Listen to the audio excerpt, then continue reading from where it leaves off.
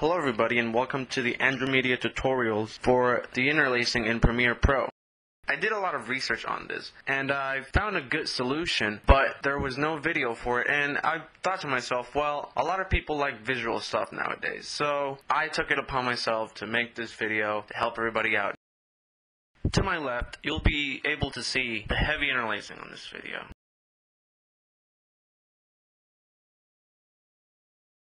And to my right, you'll see how the video is corrected afterwards.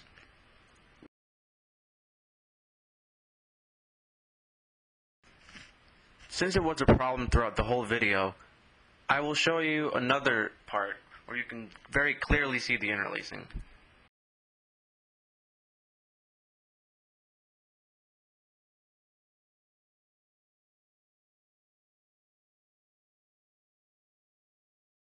As you can see here, while this girl is jumping, you can see it in her arms.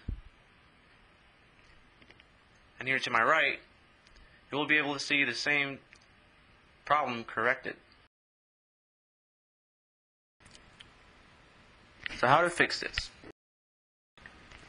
So we'll open up Premiere Pro and as you can see we will be working with the same segment of the video we previously saw. So first we want to click on and see what's the name for it. Okay, so the video is open with at 150 and we will go to our library and look for it. Okay, we found it.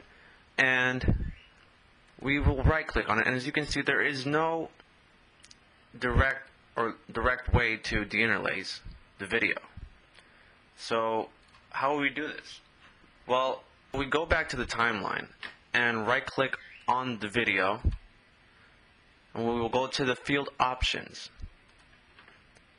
Here in the field options you can see the processing options and it'll be none, interlace, always deinterlace, and flicker removal. Now I'm going to click it back to none. As you can see, the video passes are not overlaying as they should. That is why they give us the bad looking separation from the frames. Now, go back to field options and just click always deinterlace. And there you go. Now another thing I want to point out is that you will not be able to select multiple video files and fix them all at once. Sadly, this will be the problem. You will have to go through each one and hit the deinterlace option. Rendering the video all before you deinterlace will not fix it. You have to take the raw file each raw video and the, interlace yourself. You will have to take each raw video and interlace it individually. Now, I hope this has helped and thank you for watching Andromedia tutorials.